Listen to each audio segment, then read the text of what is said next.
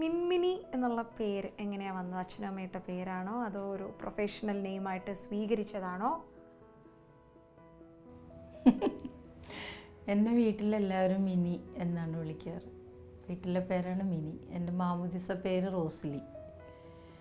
സ്കൂളിലൊക്കെ റോസ്ലി എന്നാണ് രജിസ്ട്രേഷനെല്ലാം അങ്ങനെ തന്നെ. പക്ഷേ പ്രോഗ്രാംസിനൊക്കെ പോയി തുടങ്ങിയപ്പോൾ മിനി ജോസഫ് എന്റെ അപ്പച്ചന്റെ പേര് ജോസഫ് എന്നാണ്. മിനി ജോസഫ് എന്ന് പറയും. കാസറ്റ്സിലൊക്കെ അങ്ങനെയാണ്. Eighty five eighty four eighty ഫൈവോടെ ആ കാലഘട്ടത്തിലാണ് ഞാൻ കാസറ്റ്സിലൊക്കെ പാടാൻ തുടങ്ങിയത്. അപ്പോൾ അന്നൊക്കെ മിനി ജോസഫ് എന്ന് തന്നെയാണ് പേര് അടിച്ചു വന്നിരുന്നത്. പക്ഷേ രാജാ സാറിന്റെ അടുത്ത് എത്തിയപ്പോൾ സാർ ഇങ്ങനെ എന്നോട് പേര് ചോദിച്ചപ്പോൾ മിനി എന്ന് പറഞ്ഞു മിനിയാ? അങ്ങനെ ഒരു പേരുണ്ടോ എന്ന് ചോദിച്ചു. തമിഴിൽ അങ്ങനെ ഒരു പേര് അവർ കേട്ടിട്ടില്ലാത്ത പോലെ തോന്നി. സാറ് പറഞ്ഞു നിന്റെ പേര് ഞാൻ മാറ്റും.